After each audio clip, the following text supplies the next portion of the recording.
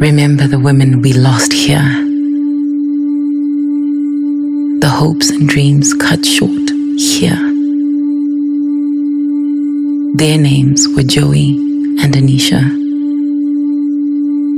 Dispossessed of land and life. Dearly beloved, wife and wife.